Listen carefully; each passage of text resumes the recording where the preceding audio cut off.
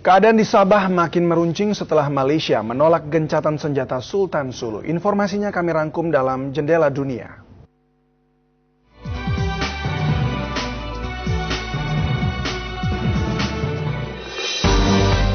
Malaysia menolak permintaan gencatan senjata Sultan Sulu Jamalul Kiram yang disampaikan kemarin.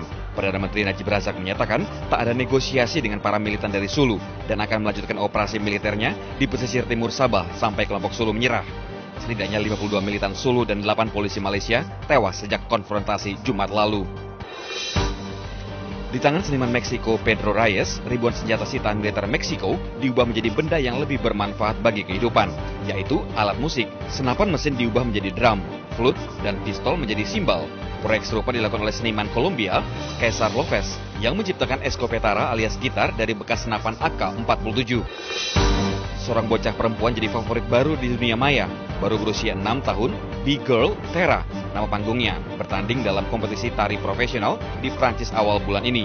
Kurang dari sepekan diunggah ke YouTube, videonya saat bertanding telah dilihat lebih dari 2 juta kali.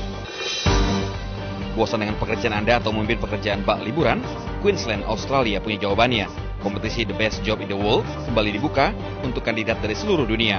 Kompetisi ini menawarkan enam posisi, di antaranya sebagai Park Ranger di Queensland yang tugas utamanya menjaga dan mempromosikan kekayaan alam Queensland. Gajinya 100 ribu dolar Australia atau hampir 1 miliar rupiah.